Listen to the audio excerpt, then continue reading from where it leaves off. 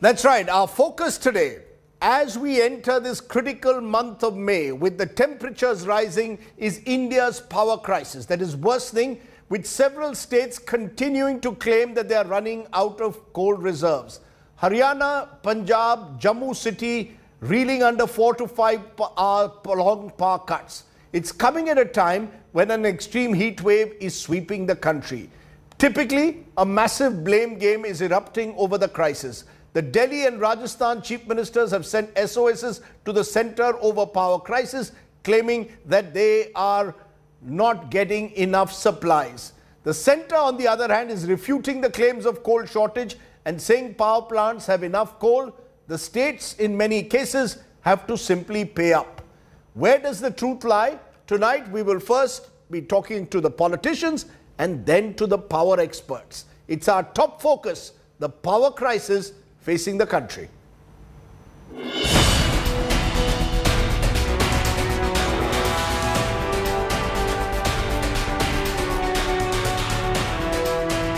India is staring at a power crisis as coal reserves in several states are quickly running out. Several states across the country are reeling under long power cuts. In Jammu, people frustrated with power snags and disruption in water supply staged protests.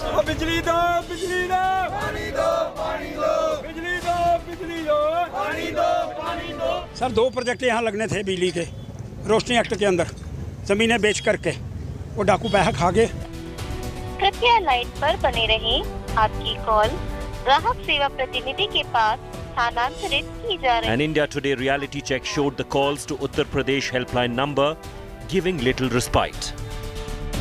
इस वक्त मौजूद हैं उसी helpline number के office में और ये आपको तस्वीरें में दिखा रहा हूँ। वन नाइन वन टू का ये ऑफ़िस है लखनऊ में ये है और हम यहाँ पर कंप्लेंट्स ये हो रही हैं कि लोग जब इस नंबर को डायल करते हैं तो उनकी कॉल ही नहीं कनेक्ट हो रही। बिजली तो सर इस समय इतनी कट रही है कि क्या बताएँ?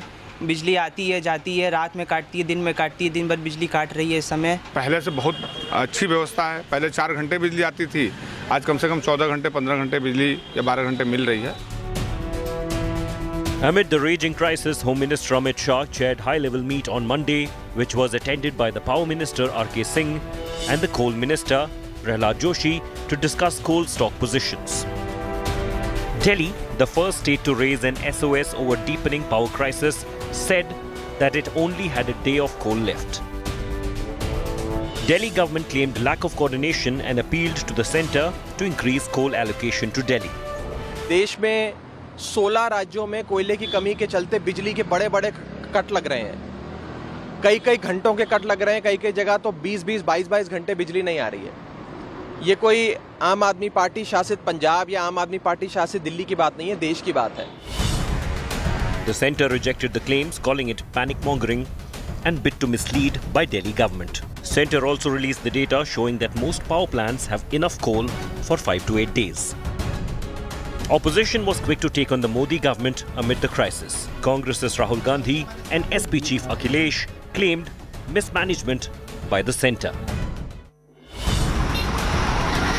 The prolonged hot spell, lack of rains, and rising electricity demands adding to the summer woes. With Samarth Srivastav, Bureau Report, India Today. So let's raise the big question at the very outset. Who is to blame for this power crisis, the centre or the state governments? Did the government, both at the centre and in the states, get their power planning horribly wrong? Peak summer ahead is the worst yet to come. And importantly, what are the solutions? I'll be joined by Siddharth Zarabi, Managing Editor, Business Today TV, Rohan Gupta, spokesperson of the Congress, and GVL Narasimha Rao, BJP MP. Later, we will be joined by Vinayak Chatterjee, Infrastructure Sector Expert and Chairman, National Infrastructure Council, and Harry Dhaul of Director General, Independent Power Producers Association of India. Before I come to my guests, Here's a graphic which will tell you about one of the reasons why this country is facing a potential serious power crisis, which is simply the payment crisis. Many experts say the crisis has to do with the payments cycle at the moment. Here's the problem in a nutshell. Distribution companies or discoms in states have accumulated losses worth 5 lakh crore rupees. These discoms in turn owe power generating companies or GENCOs 1.1 lakh crore rupees. And these power generators owe Coal India 12,300 crore rupees. Let me come to you, GVL Narasimha Rao, first, because the government seems to be in denial mood. You speak to the coal minister, Prahlad Joshi, he says there is no uh, coal shortage. Speak to power minister R.K. Singh, he says there is no power crisis. And yet, the home minister had to hold an emergency meeting today. Yet, the fact is from state after state, particularly in north and central India, we are receiving reports of power cuts and power shortages. Someone is not telling the truth to the people of the country. Is it the ruling BJP, sir, at the center? Uh, Rajdeep, I, uh, the power minister, Sri R.K. Singh, was responding to the lies being propagated by the Delhi government, Aam Aadmi Party government, uh, which, like last year also, they were tr- spreading rumors and lies. And he said the numbers that they have put out are, in fact, uh, they, are- they are not factual.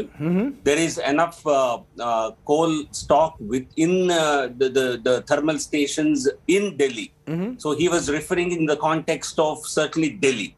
So let's get that clear. Second, the central government has been urging the state governments to import coal to ensure that coal-based uh, plants, import coal-based plants can operate to their full capacity or to an optimum capacity. The plant load factor in these uh, import coal-based plants is only 66 or 67 percent. Okay, and the state governments are not willing to import, and the central government has also allowed them to mix imported coal to the tune of 10 percent, hiking it from 4 percent. The state governments, it is they who have actually been dilly-dallying imports. One reason for that is we can't blame the state governments as well because the import coal prices have shot up four to five times in the last one year. Yes. And obviously, we have to blame the Ukraine, uh, uh, uh, the Russia-Ukraine conflict, which is certainly responsible for the hike in prices because uh, Russia is the third largest exporter of coal. So we certainly have to look at the the, the international situation into account. Hmm. And the parties like Rahul Gandhi, who only sees a crisis in power, but he doesn't see a crisis in the Congress party. I think Congress ruled Rajasthan mm-hmm. reports the highest power crisis in the country today. And let them explain why is it so. Rajasthan has reported a shortfall of 55 million units yesterday or two days ago. And that continues to be the worst performing state. And of the states that won, that, that owe a large amount of money to the Coal India, you mentioned 12,000 crores. Four states stand out. These are Maharashtra, West Bengal, Tamil Nadu, and uh, and uh, and one more UPA rule state. These are the four UPA rule states. Which the fourth one is Jharkhand. Yes. Maharashtra, West Bengal, Jharkhand, and Tamil Nadu. They are the they they have really been not paying up their dues to the Coal India. Sir, so but the, my is- question is, Sir, but the problem you- is they is national. You you know you will you are cherry picking 108 out of 173 plants, domestic plus imported coal-based plants have coal at critical levels. You at the last minute on Friday had to cancel passenger trains so that the coal could be transported in time. Clearly, the mood of denial was uh, while uh, there are points that you make which surely need to be looked at seriously. There is a question, sir, about this mood of denial. Why doesn't the government accept that there is a crisis? You can only resolve a crisis when you accept there is a crisis. Just as you say, Let- Rahul Gandhi targets the government in, uh, reflexively, the government's reflex reaction is, don't worry, there is no crisis. Where is, there is a crisis on the ground. That is the No, reality. Ra- Ra- Rajdeep, because there is a, a looming crisis, there is a that's the reason why central government has given out advisories. We don't want to create simply a panic. Mm-hmm. You have to act, and the state governments here have to act. Let me tell you, the amount of power generation in the state sector mm-hmm. is more than what, what is generated in the central government sector. The amount of power generated in the private sector is almost twice that of what is generated in the central government sector. So it's not entirely in the central government hands. Okay. The Let me, states have to import power. Private sector companies have to import power to run import-based power plants. Let and if they don't do it because they don't want to, they, they see losing money in the proposition. They can't blame the central government for it. There is enough coal available, but it is available at a very steep cost. So, the, do the states have the they have the have the uh, uh, capacity to bite the bullet, or at least they should own up. They cannot blame the central government Okay, for let- not importing and not operating their plants. Let, let Rohan Gupta respond. Rohan Gupta, when I put out those figures at the outset, the fact is that many of the state-run power plants, and this cuts across BJP and opposition-ruled states, are today running at grave losses. There's a cycle, as I pointed out, where the discoms are running huge losses, where the power generating companies in turn are not being paid and they in turn are unable to pay the uh, Central Coal India. So there's a vicious cycle out there. To blame solely the government at the center and say this is all because of Narendra Modi as Rahul Gandhi did today is a tad unfair. This is a crisis that has been building up over the years. It's got worse over time because the dues simply are remain unpaid. See, Rajdeep, first of all, this is the first government which is in opposition even after being power for eight years in center. This is the first government for all the crises, whether it is power crisis, whether it is inflation, whether it is petroleum crisis, whether it is GST. The states are responsible because this government time is going in other issues rather than doing governance. Rajdeep, you tell me whether governance is the issue of central government or or opposition party. Mm-hmm. How can you deny that there is no crisis? This is the first problem with this government. Whether it was COVID or inflation or economy, they have always denied that there is crisis. You know, rightly put that mm-hmm. if you if you won't admit crisis, how will you resolve it? So anybody raises question on this government, okay, please at least accept that there is crisis. They are not even ready to do that. That shows that why they are in denial mode. Mm-hmm. See, as, as you rightly put, 108 power plants out of 173 power plants are in serious shortage of coal. It's not in India, there is abundant coal supply, there is absolutely no issue. Let me remind you, in last year, October 2021, due to unseasonal rains, there was a shortage of uh, coal. And then, uh, you know, th- there was this kind of situation which central the government has faced. Why they have not learnt lessons out of that? IMD has clearly predicted that this monsoon is going to be very, very hot. Why government has not taken uh, that in uh, consideration and planned in advance? Because this government's time, obviously you have 24 hours in day. When this government is he doing all other things what we see in television, Hindu Muslim, obviously they won't have time to do management. And when it comes to management, they will blame opposition party. This is not the first. No, but opposition, opposition ruled states and Rajasthan is a classic example. I've also to answer questions about the manner in which they have handled their power supply. See, Rajdeep, as again I have said, coal management is a central subject, right? It is responsibility of central government. Whoever are states, there are certain states which which don't have coal supply. They have to manage from other states. There are power plants which are run by state governments. Obviously, it is state government's responsibility. And many governments have raised their issues of, hmm. of, of increasing the coal supply. Do you feel that this government listens to any of the demand? Yesterday, a few days back, PM was talking about you know reducing uh, VAT on petroleum, and they he is not answering the question that GST of all the state governments have been pending for last so many months. So this is the hypocrisy of this government where they do not want to show the right picture where it is their government has completely Okay, failed. as far as uh, management is concerned or governance is concerned. Let, let, let GVL uh, have a response before I go to Siddharth Zarabi. You know, GVL, this will end in the typical political blame game, but at some stage, there will be the buck stops at the center, especially on issues like power supply. Buck stops at the center. The inability, I come back to, involve the states in collective decision. We talk about cooperative federalism, and yet on issue after issue, we are seeing contentious polarization between the state and the center. That is not going to resolve the problem of the states that are facing a power shortage. This blame game will not resolve the crisis. No, it's it's not a question of blame game. It's a power supply is a concurrent subject, and states cannot wash off their responsibility at one level. It's so ironical. At one level, they claim central government is trying to uh, trying to trying to barge into their territory. But when power supply is, they have a duty, they have a mandate to uh, pro- provide power to the people at affordable prices. They want to run away from it central government, it's not the job of the central government to import coal and supply it to power plants in the states. It is your job. If you have not done your job, you own it up. You Okay. cannot indulge in political blame game at the BJP. You cannot target the BJP and shirk your responsibility. Or just say, let us convert all this into central subjects. Let's have a discussion on this. Let's make drinking water, Sir, Tali- agriculture, Tali power supply. Let us convert all this into the central list so that states have no responsibility whatsoever.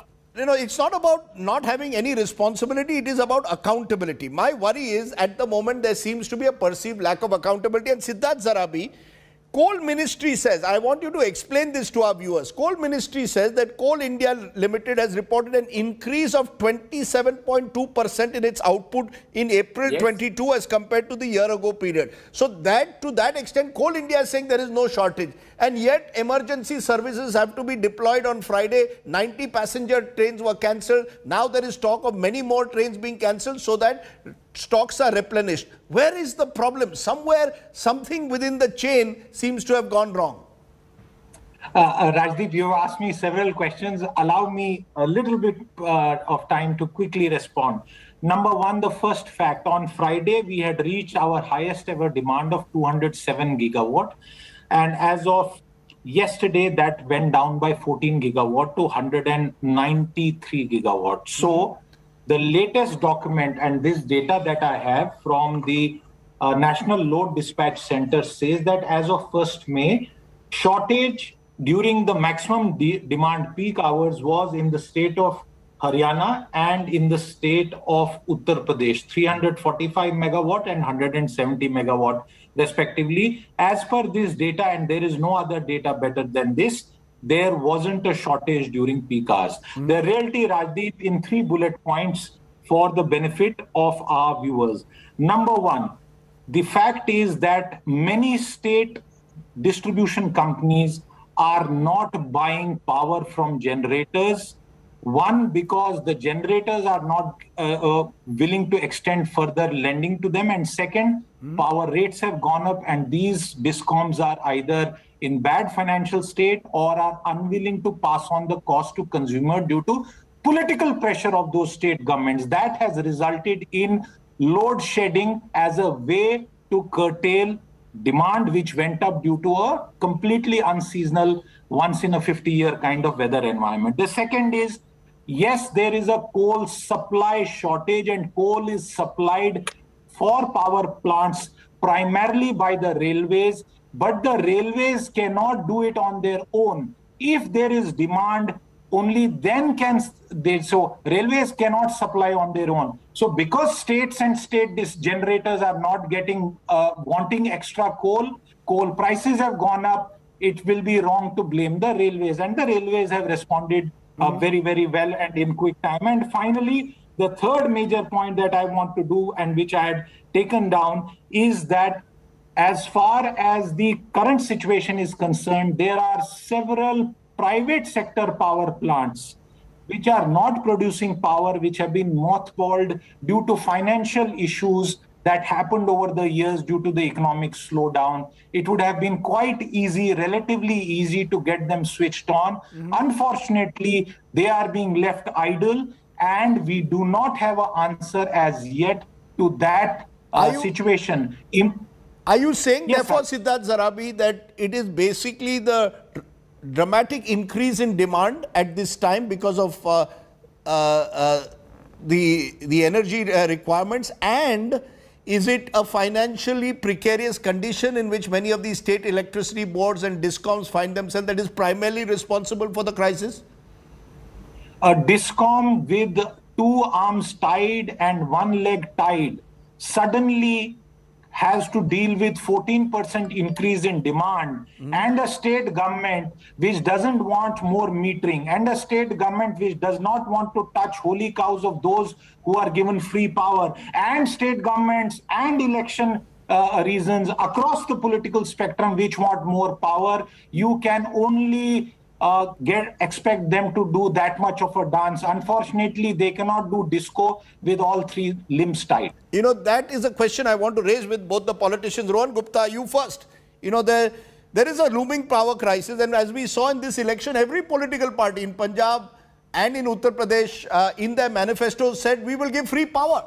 That, you know, at one level you talk of a power crisis, and you know that the discoms are bleeding, and yet you talk of free power at election time. The thing is, you it is impossible at the moment to see many of these discoms and state electricity boards becoming in the near future financially viable. I agree with you, Rajdeep, and this is the problem with these new parties like Aam Aadmi Party and all. They No, it's never true of all parties. It's true of all Let- let- parties when let it comes to free power. I will answer your question. So even if you promise something free, there has to be management after that. It's not that if you see all the Congress government, even in Delhi, the hmm. power subsidies were always there, but we managed it well. Delhi was a surplus state when the Congress was in power with more than 60,000 crore rupees of surplus. Now today you see what is the situation of Delhi. So the issue here is not uh, Rajdeep giving something free when obviously there is a particular class of society which which is deprived and something is to be done. Yeah, you should be, but that it it should be supported by the management around it. What I'm trying to tell you here is there was a trailer to this government in October 2021. Maybe due to other reasons there was a shortage. Only four days power supply was there. I think they should have learnt out of that. If this, this kind of situation is going to emerge, what is going to be their planning? IMD had given this warning clear cut this time that this govern this this summer is going to be the hottest. I think government should have planned in advance, taken states in confidence, maybe organized meetings and all.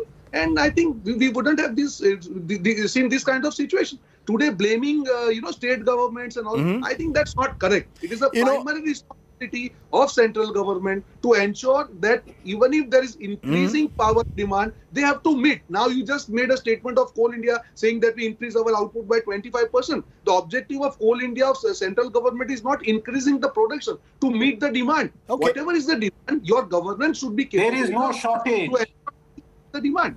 You know, the fact though is, uh, GVL Narasimha Rao, that this is a moment where the ministry at the center needs to in some way be in constant communication with state governments. Now, I could be mistaken and maybe Siddharth can correct me, but what I am told by state governments, opposition ruled state governments, is that there has been very little communication between Delhi and state capitals. It could be, I could be mistaken. may I come in? Yes, yes, Siddharth. Rajdeep, may I come in? Yes. Very quickly. There have been a spate of meetings, uh, some of them known, some of them unknown, and I really cannot add value there. But there are two major points.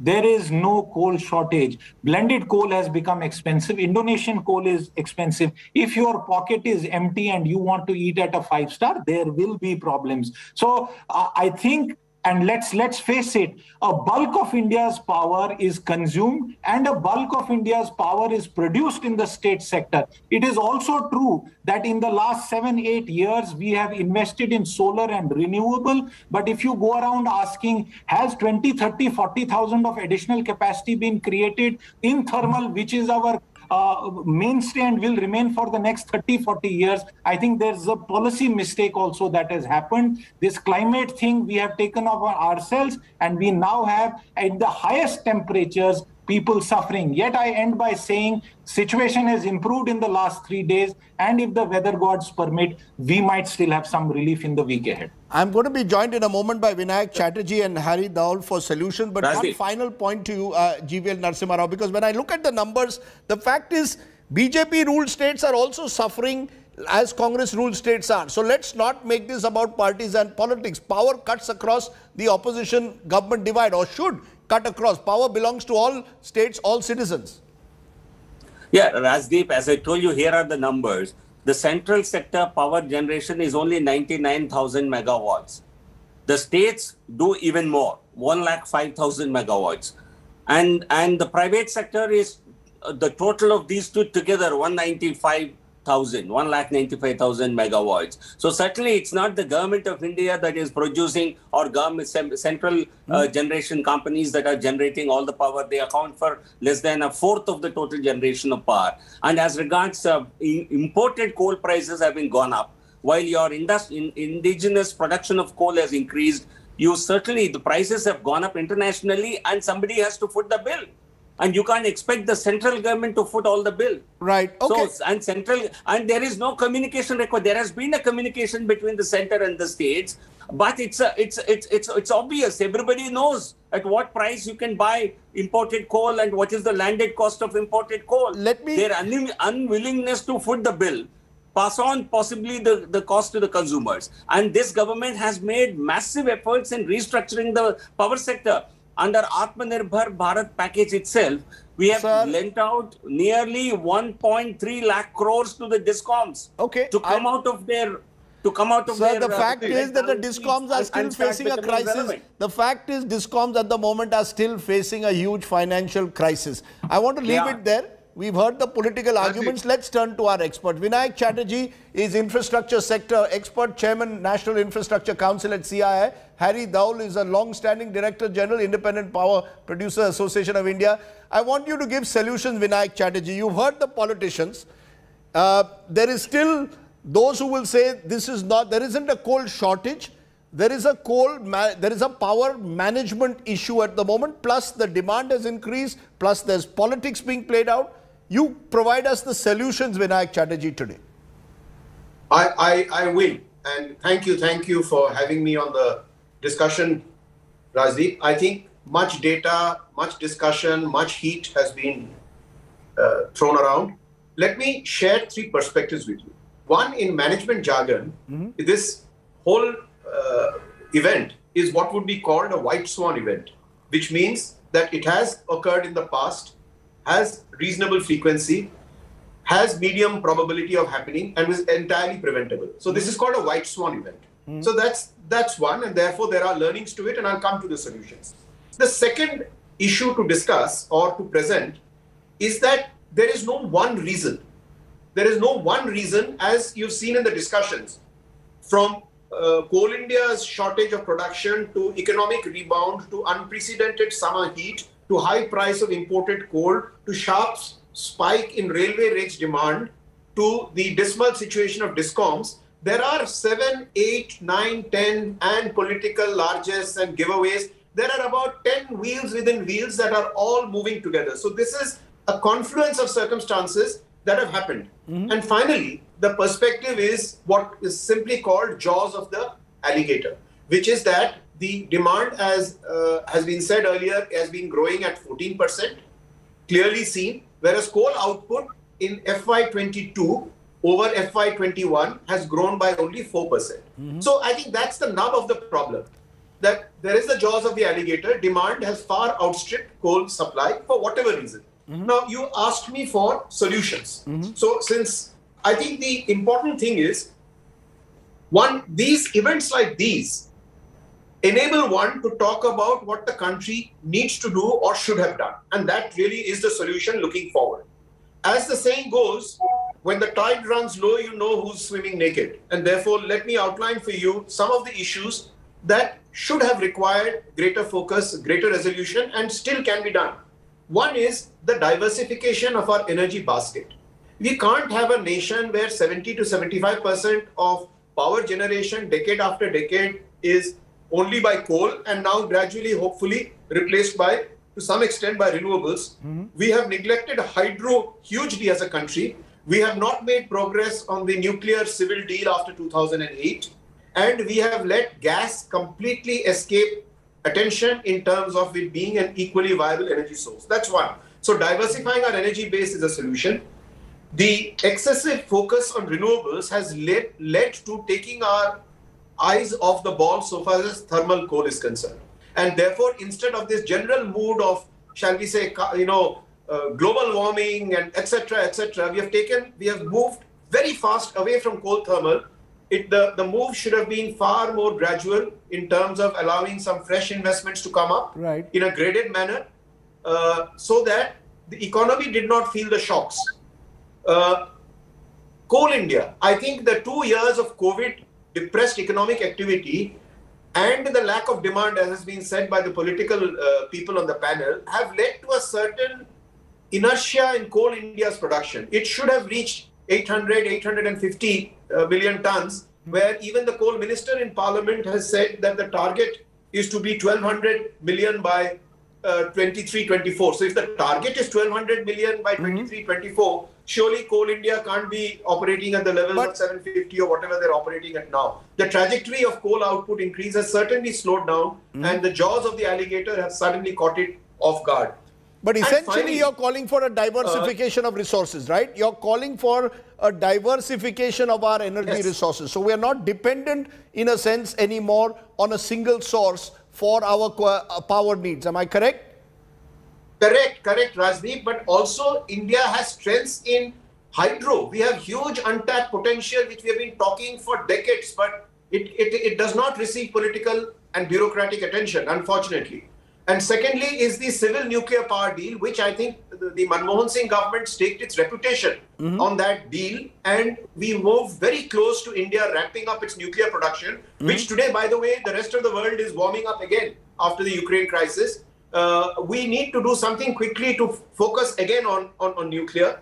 We have to reform the power distribution sector. It is the tail that wags the dog of the power sector. But the government claims the- they've done that. Let me let me take that. No, no. But the government claims it is reforming the power distribution sector. You heard uh, GVL Narasimha Rao claiming that this has been one of the achievements of the government, and the fact is the jury is out on that. Because when I look at the state of the discom company, they're still struggling. So while while the I- government I- is uh, has the I right intentions, the the government. government has announced scheme after scheme of trying to motivate discoms to reform but we have passed the stage of motivation i think the use of the term surgical strike actually describes the amount of focused attention and decisive political action What what would that required. I mean, if surgical strike be? What would that surgical strike be?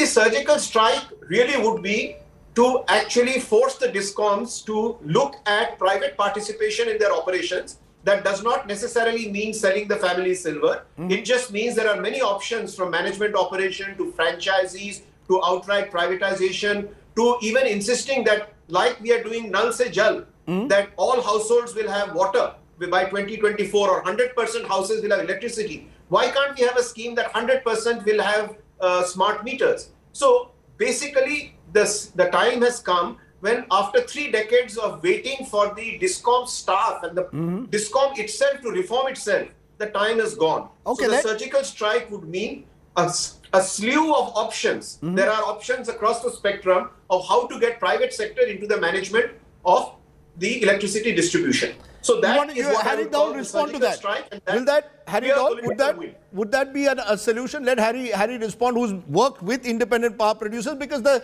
the track record again there is a mixed one. It's not as if independent power producers have stepped up to the plate to ensure that the power crisis doesn't loom in the way it is at the moment. You know, I would like to start off with the point that was raised about surgical strike by you, Rajdeep. Hmm? I would say three things rescue the discoms, rescue Coal India, and rescue Recording the- in the- the progress. power producers. Okay, those are the three things.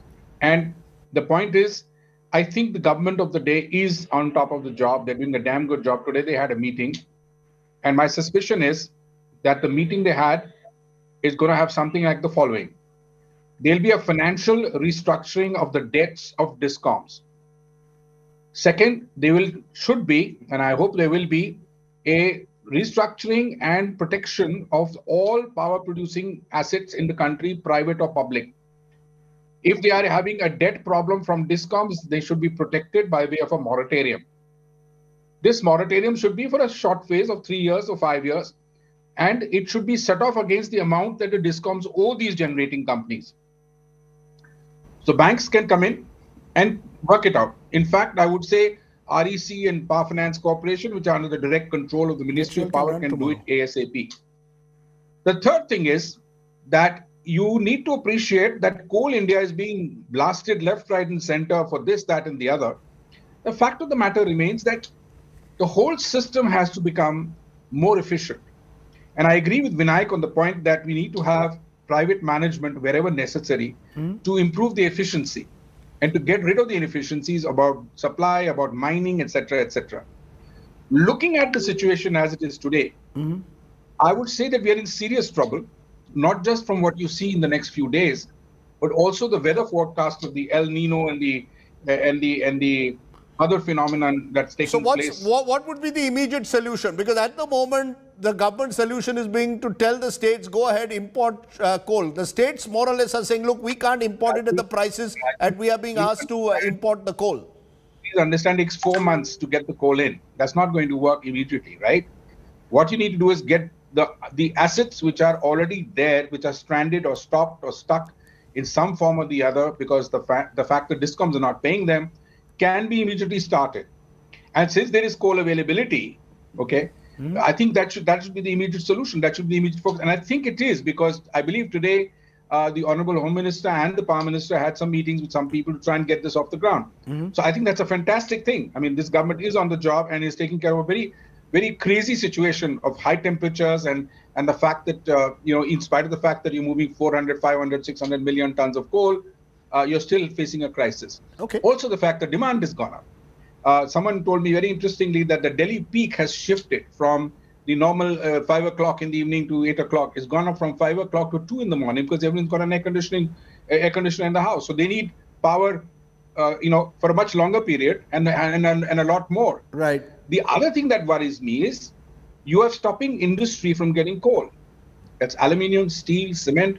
These are all critical for infrastructure. So what are we going to do with that? I think that's another concern which we need to flag.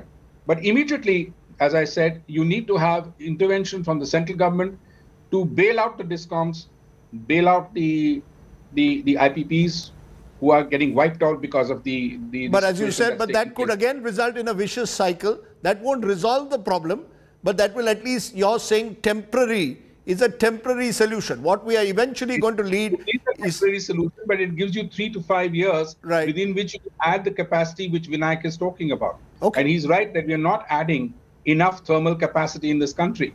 We don't have gas as an alternative as, a, as at a viable price, and we have no way of taking that forward. Okay, let so me I think leave, that's what we need to do. Let me leave it there, gentlemen. Uh, we've had a discussion that I hope sheds more light than heat in the time that we live in. And I think what we need is more light really than heat. And that might, in a way at least, if the temperatures drop a bit, reduce some of that power demand. But Vinayak Chatterjee, Harry Dhaul, I appreciate your joining me here tonight with your solutions and giving us, in a way, a non-partisan approach to an issue that unfortunately has again got caught in a political blame game.